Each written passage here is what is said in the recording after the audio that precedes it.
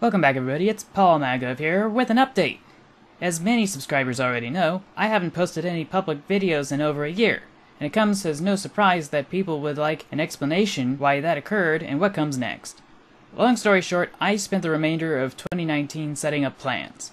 This included plans for moving out of the house, determining if I wanted to change the format of my channel's content, deciding whether to start my career or return to school, and finding ways to rediscover myself. In the end, I only found a part time job, and by January 2020, I returned to school in pursuit of a master's degree in urban planning.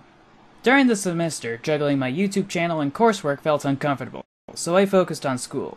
Not long after, my state went into quarantine starting in March 2020, so the campus closed down and courses switched online.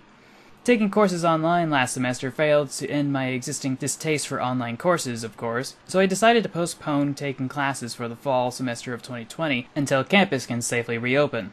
I must admit I do not look forward to it because, with the exception of a pre medical or pre law degree, I thought graduating cum laude with a bachelor's of science in anything should be enough to start a career anywhere in the world. It just didn't translate into a career living in the heart of the Silicon Valley. Summer break gave me ample opportunities to produce content, but perfectionism got the better of me. I didn't feel comfortable with the old format of making content, with my hair thinning, my energy on camera being subpar, and my rambling commentary. I tried to make more polished content, whose production never reached full publication between the last episode of Train Valley 2 and this one. Eventually, I looked so negatively upon my old content in general, and felt so defeated by my restrictions that I put on myself for new content, that I surrendered, prioritizing work instead. But after getting continuous feedback supporting me, and after re examining what I offered, I knew what I had to do. I could not give up.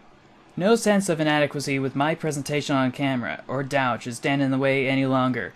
I would adapt, streamline, and overcome. Sure, the format of my contents may change as my taste in content production changes, but no matter what happens, I know you are there with me, even when I lack confidence in myself.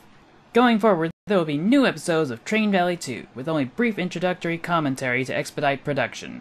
From there, the plan will be a change in content, but I hope you will be there to join me.